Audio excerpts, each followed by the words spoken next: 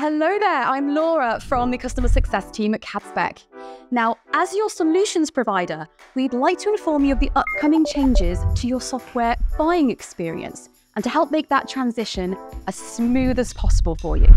First of all, fear not, CADSpec will be with you every step of the way, and our normal service and support will not be going anywhere. We'll still be your go to for consultancy, training, quotations, and all other day to day inquiries.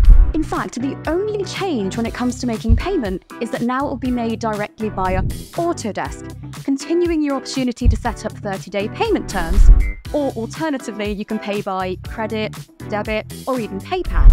Now, you do have plenty of time before the 16th of September, but we do recommend setting up Autodesk as a vendor in your procurement system ahead of the changeover, and CADSpec will be more than happy to assist you with this. For now, we'll continue to keep you updated with all the latest information and the lead up to and during this transition, but in the meantime, please feel free to reach out to your account manager or our customer success team, or alternatively, hop on the website for more information.